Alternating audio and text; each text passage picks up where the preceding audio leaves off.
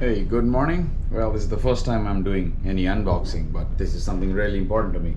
Do watch the video and, and read my comments below. That's how I'll show you how I got it and where I got it and who helped me to get this phone. You can keep guessing. Okay, so here's the most important part. This is the certificate that says that it's EX and it's can be used in a hazardous zone. Whoa, it feels really heavy and it certainly feels nice. Look at it, guys. Feels brilliant. So the brand is Conquest. Yeah, this is the wireless charger that comes with it. This is a dock. I'm pretty much satisfied with with uh, at least what I see and what I what I'm starting off with. This is the USB cable and the quick charger. The quick charger, a USB cable. All right, this would be. So this is my belt buckle case. Here's the magnetic charger. I plug it in and just place it onto socket to charge. It's time to start up the phone. Yeah, it's coming on, powered by Android. Screen is pretty huge. I think it's oh yes, it's it's a little huger than my iPhone 13 Max, 13 Pro Max. No, my main goal is the camera. I really need to see how good the camera is. See how the video goes. Oh, I got this scratch guard that I need to take off.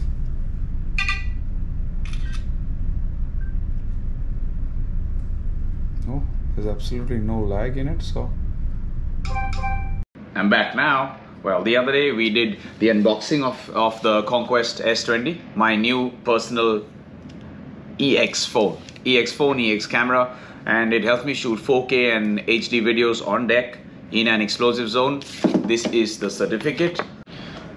Okay, a quick run through. The box.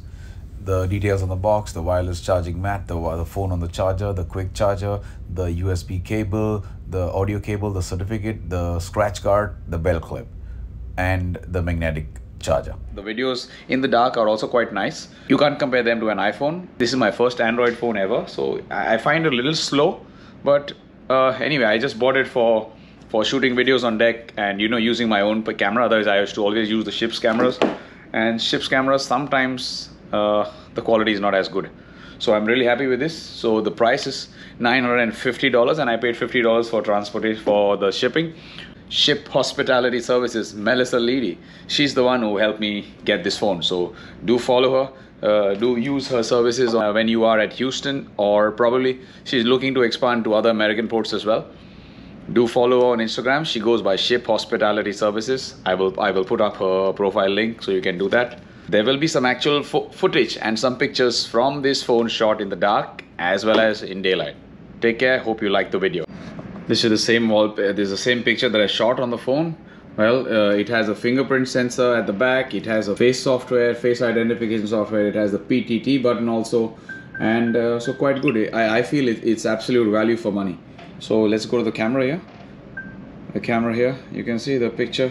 It's it's quite good it has a zoom in and it also has the 0.5 the, to zoom back out so really happy with it this is a lock screen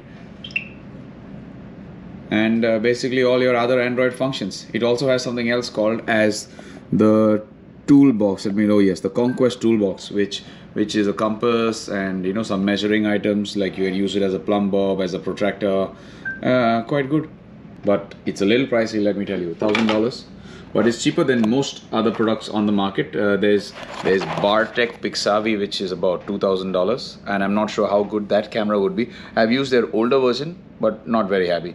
In low light, pathetic, pathetic pictures. But this one, pretty good. 4.5 stars out of 5, so worth it. So some actual footage. This is the one. This is my first ever picture with this camera. It is shot in the night. Pretty good footage. This one, 0.5x zoom, engine room, good shot the other one same location uh, with the 1x zoom and exactly same location i'm happy with this shot too this one shot in the workshop close up very very good over to some video footage. This i have shot in the compressor room and you can see the lighting was low there and i'm really happy with the shot. The clarity is good. This video is about 8 10 seconds and 72 mb so really good really happy with this. Just a few images of the web uh, so you can see what the phone is all about. Uh, you know it's it's 5g it's, it's intrinsically safe. Uh, the cameras night vision sensors four methods of charging and all of that. All right thanks. So all in all i think it's a good buy if you're if you're working on tankers and you want to shoot on deck individually rather than using the ship's phone. Take care. Bye bye good night. Cheers. Hope this helped you guys